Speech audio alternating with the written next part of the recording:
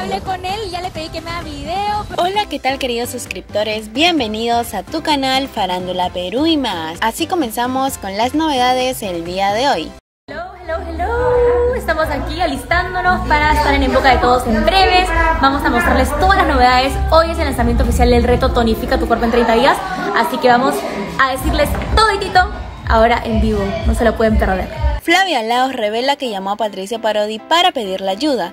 Me dijo que sí, por supuesto. Flavia Laos se encuentra incursionando en un nuevo negocio y reveló que llamó a su expareja Patricia Parodi para que le ayude con la promoción. ¿Qué te dijo cuando le pediste ayuda? Le preguntaron a la modelo. Me dijo que por supuesto que sí. ¿Cómo me va a decir que no?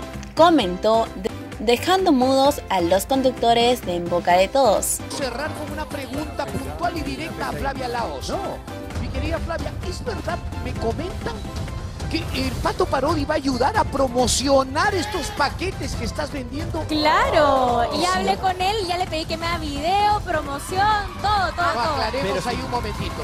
¿Me estás diciendo que has conversado con el Pato y le has pedido el favor de que te ayude a promocionar tu negocio?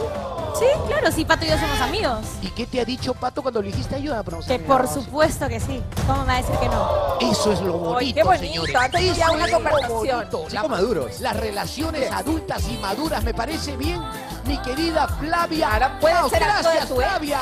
Chicos, ¿cómo están? Estoy súper feliz porque ya hay demasiados inscritos.